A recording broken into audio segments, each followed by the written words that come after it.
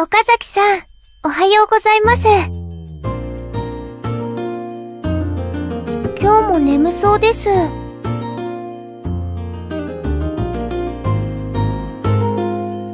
早く寝てください。そうすれば寝起きも良くて、朝からたくさんお話できます。相槌打つだけじゃなくなります。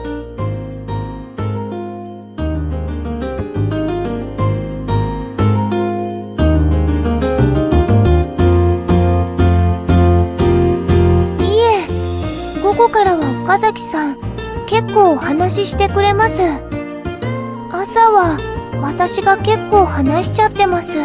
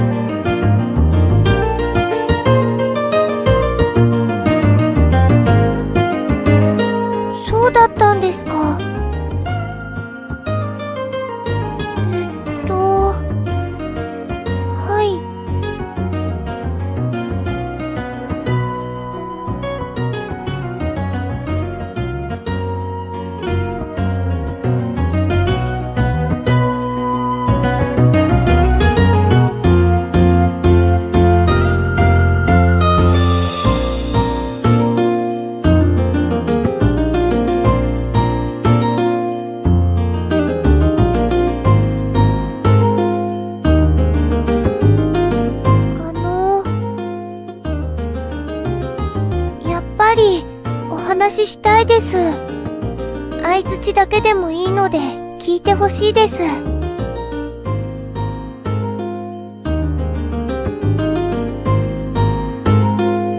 本当ですか？じゃあ、岡崎さんからもお話ししてほしいです。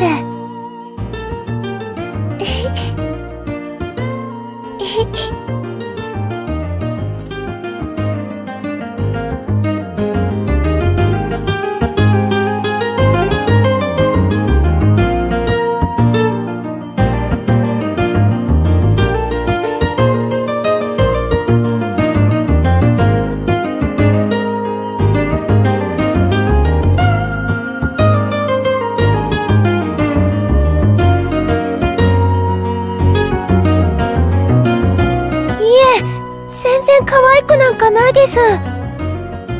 でもありがとうございます。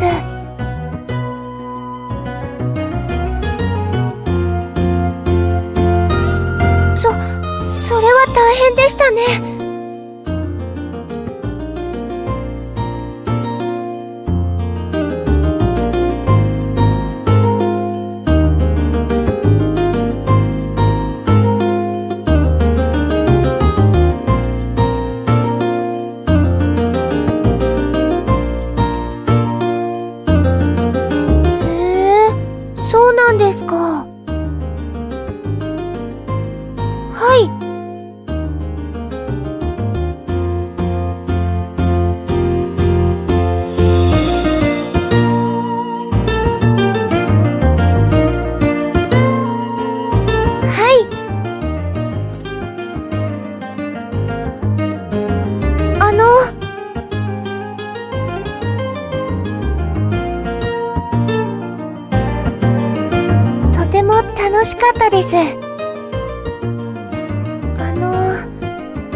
贅沢なこと言っちゃっていいですか？えっと、こんな朝がずっと続いたらって思います。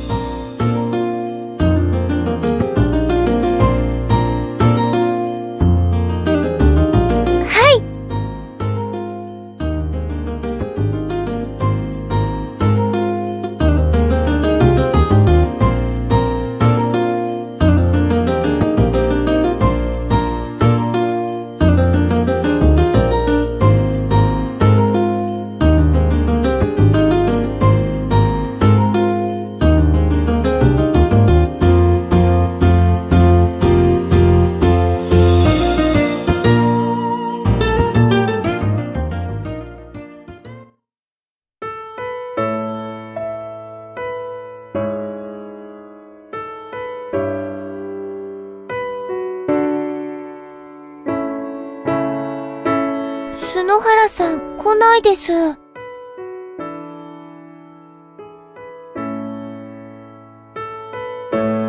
何かあったんでしょうか？ちょっと心配です。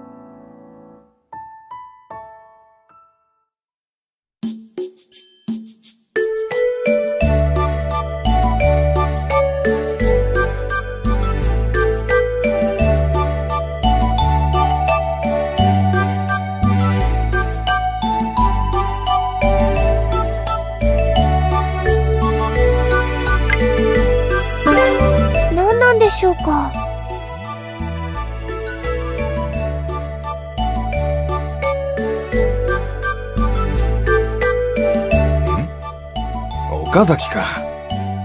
今この廊下にいたんだよ。知らないのか。この校舎に出るっていう幽霊だよ。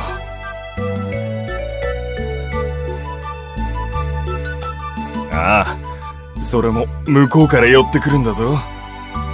それでこれをどうぞって言って呪われたアイテムを渡すんだそうだ。ああ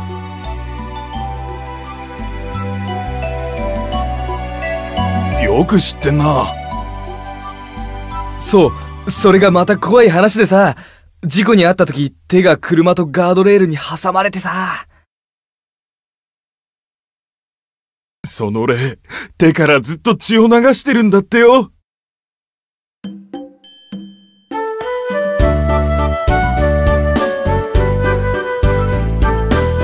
どうしましたか岡崎さん？怖いですか？なら、お会いしたいです。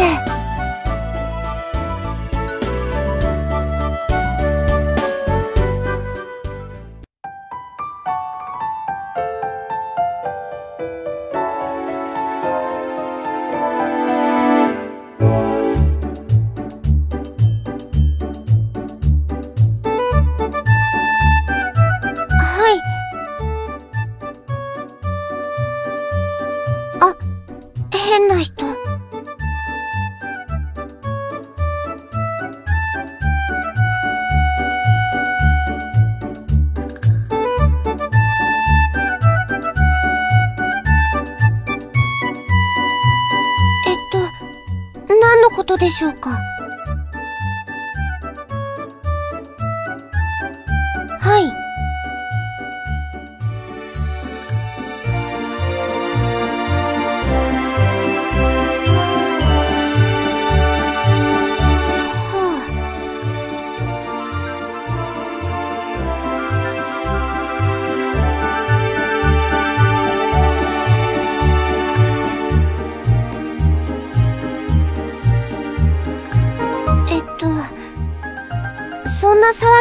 ぎになってたんですか？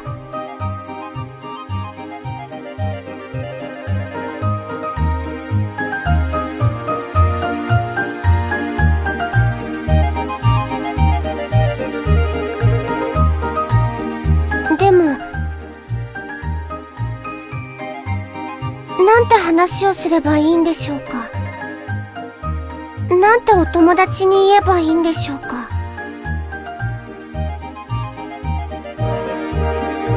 かげさまで良くなりましたって言えればいいですけど。でも、フー子は、どうしてここにいるのかよくわからないんです。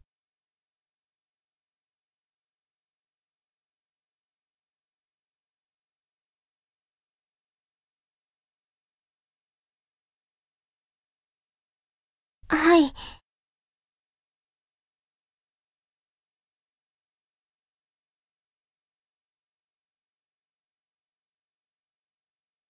岡崎さん。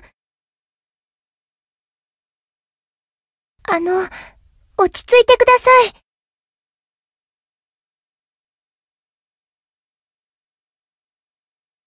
あの、私わかってるつもりです。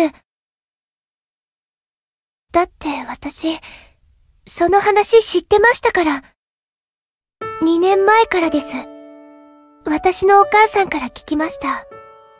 私が1年生の時に教わっていた美術の先生の妹さんが事故にあって、ずっと入院したままだって。伊吹風子さん。伊吹先生の妹さんですよね。はい。聞いてください、岡崎さん。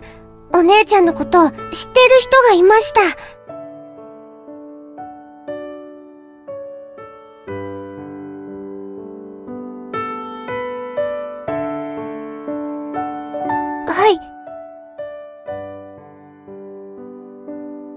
吹先生の家にですか？はい。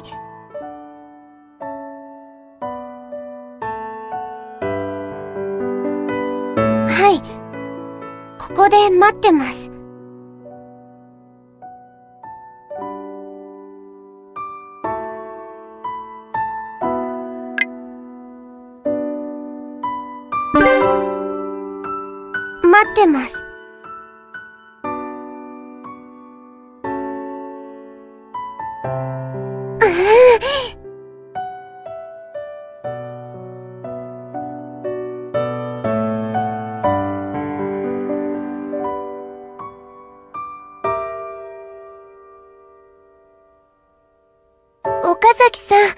いじめたらダメです。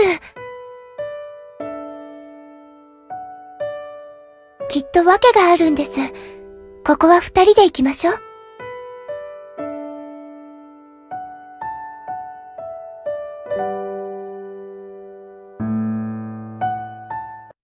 ただいまです。お帰りなさい。岡崎さん。こんにちは。お母さん。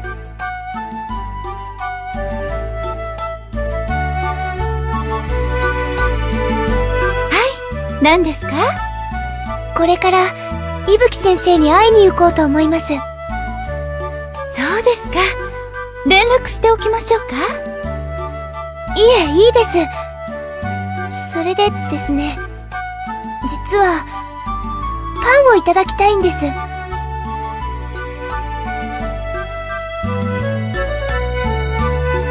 もちろん構いませんよ。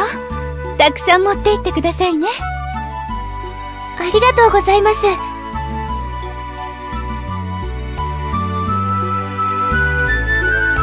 岡崎さん、パンをお願いします。これ、二つお願いします。こっち一つお願いします。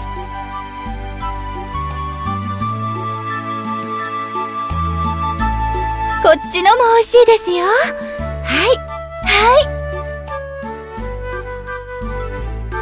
あの、ものすごい量になってしまいました。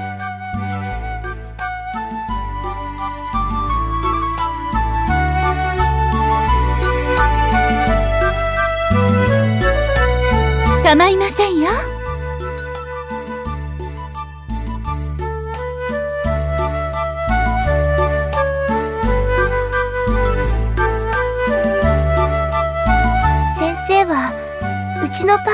買いに来てくれます。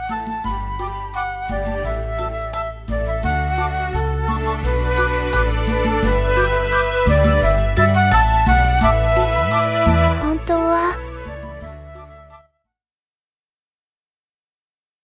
本当は、伊吹先生の家に行くのは、卒業してからにしたかったんです。伊吹先生は、本当に優しい先生で、とてもお世話になったんです。一度だけ家に上がらせてもらいました。私がとても落ち込んでいた時です。紅茶とケーキを出してくれて、お話をたくさんして、とても楽しい時間を過ごさせてもらいました。だから、次行くときは、卒業しましたっていう報告を持って行きたかったんです。そうしたら、少しは喜んでもらえるかなって思ってたんです。いえ、変なこと言ってすみません。パンを買いに来てくれるときは会っちゃってますので。もう、そんなの関係ないですよね。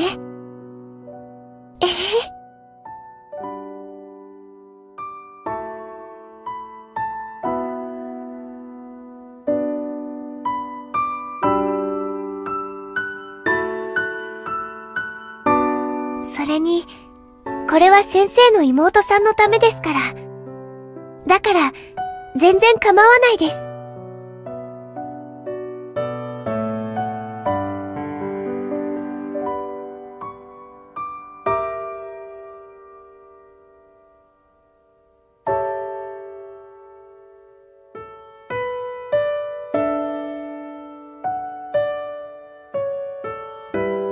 私は会ったことなかったんです。今日初めてお会いしました。でも、もし本当にまだ退院してなくて、病院で眠り続けているんだとしたら、どうして学校になんて現れたんでしょうか？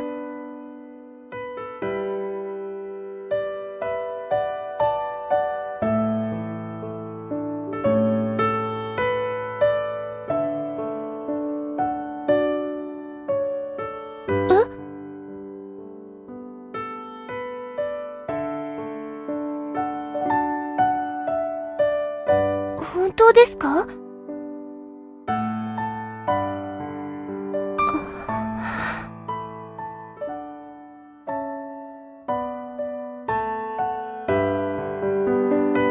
すみません。